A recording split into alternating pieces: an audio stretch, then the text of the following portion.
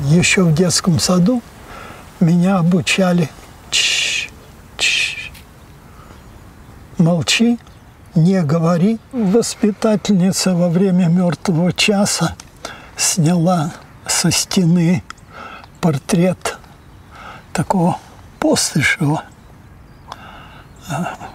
Когда мертвый час закончился, мы пошли на полдник. Я спрашиваю, а почему вы сняли товарища Постышева? И первой именно она сказала «Чш» и ушла.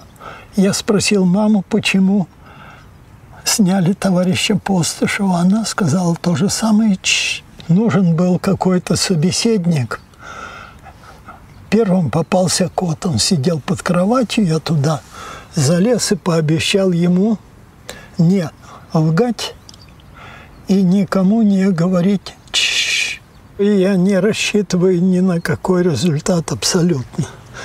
Я не агитатор, я не пропагандист. Я не делаю это для того, чтобы люди пошли за мной. Это никогда не команда «действуй, как я».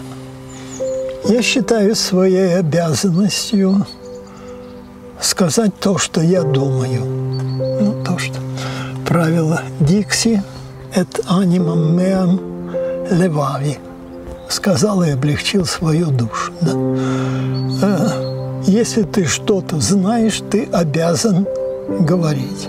Великий богослов, учитель церкви Григорий Богослов говорил, что молчанием предается Бог. Если мы молчим, мы как бы участвуем в том зле, которое происходит в мире. Я обязан сказать, что я думаю, а результаты моего говорения меня совершенно не интересуют. Кто услышит, как отреагирует.